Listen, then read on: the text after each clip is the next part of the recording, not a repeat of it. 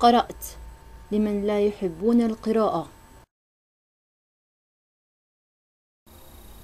قال عراف أكسب عيشي متكهنا بمستقبل الناس ولدي خبرة باستعمال العصا لمعرفة الغيب. في ذلك المجال يمكنني معرفة الماضي ونبش ما هو منسي وفهم إشارات الحاضر.